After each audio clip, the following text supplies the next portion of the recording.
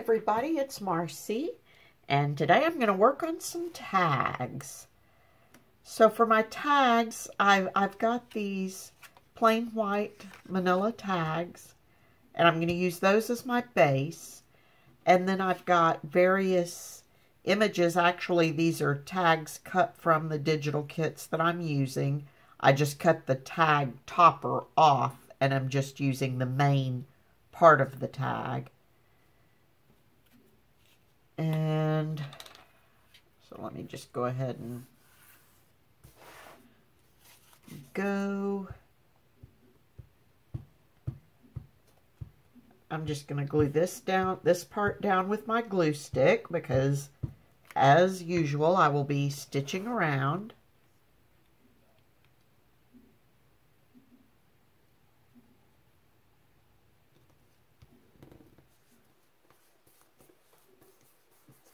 So I've got my image on there. And then I've got the yellow rickrack that I'm going to be putting at the top. And for that, I'm going to use a little bit of Fabri-Tac.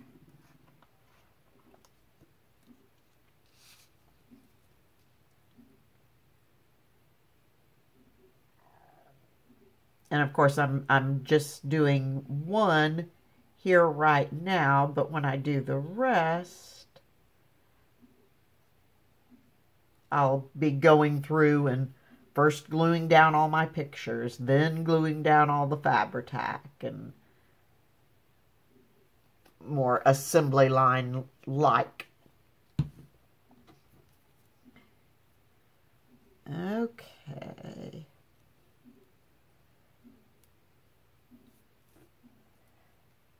So there's that.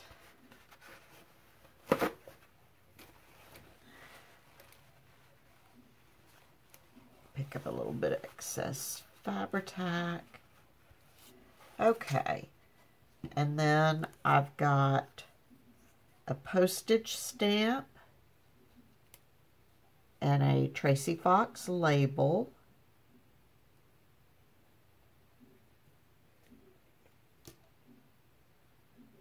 and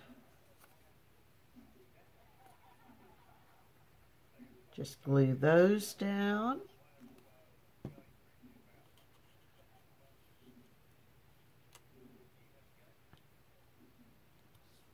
There's the stamp.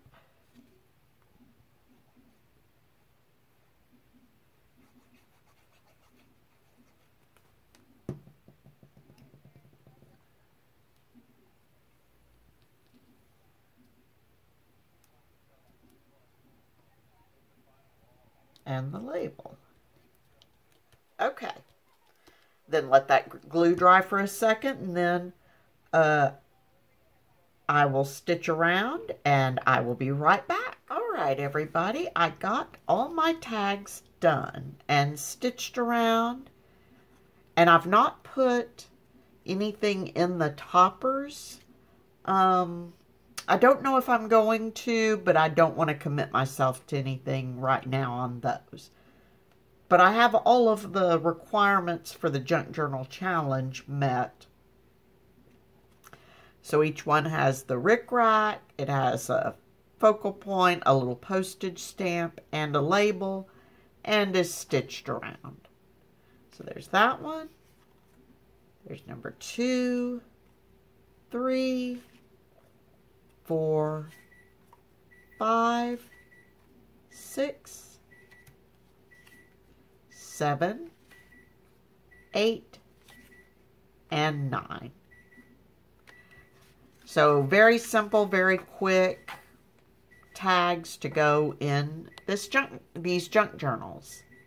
So that's it for now, everyone. And until next time. Oh, before I go, I am going to do my journal cards next, but I think I'm going to be using book pages and collaging on them. So I may do most of that part of it before I start filming. We'll see. But anyway, until next time, please be safe, stay healthy, and happy crafting, everyone. Bye-bye.